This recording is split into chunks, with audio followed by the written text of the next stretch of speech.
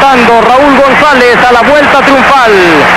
A una vuelta y unos metros más de haber culminado su sueño. Séptimo lugar en Montreal 1976. Sexto en Moscú 1980. Segundo en la caminata de los 20 kilómetros en Los Ángeles 84. Hoy se está acercando a la gloria. La campana suena y Raúl González no pierde la cadencia. Va en busca de la mejor marca olímpica. Nadie más lo sigue.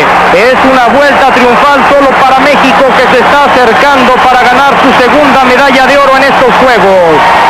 Además, Raúl González se convierte en el primer mexicano de los Juegos Olímpicos de 1984 en conquistar dos medallas. El estadio lo saluda, el estadio grita lleno de emoción. Es México acercándose a su segunda medalla de oro. Oiga usted la voz del Memorial Coliseum.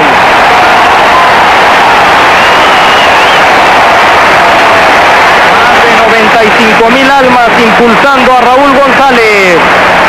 Le están llevando una bandera, uno de seguridad tiene que sacar a este fanático que se ha desbordado.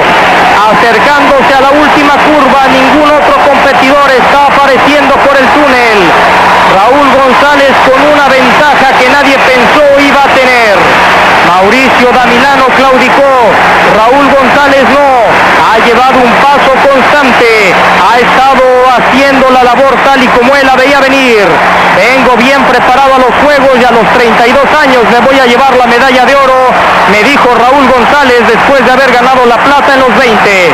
Y aquí como los hombres, Raúl González está cumpliendo 32 años de edad, maestro de educación física, vive en México en Lomas de Sotelo, trabaja con el gobierno de Nuevo León.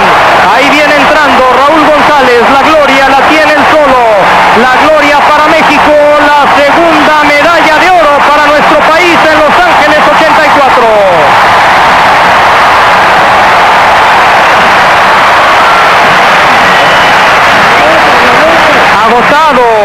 Emocionado, Raúl González recibiendo la ovación, está llorando, está ganando la medalla de oro que por tanto tiempo estuvo buscando. Siempre fue el ángel guardián de Daniel Bautista, protegió a Ernesto Canto en los 20 kilómetros, hoy se quedó solo pero resistió como un valiente. Nueva marca olímpica para Raúl González con 3 horas 47 segundos, 47 minutos y 26 centésimas. ¡Qué emoción el nuevo tiempo de Raúl González!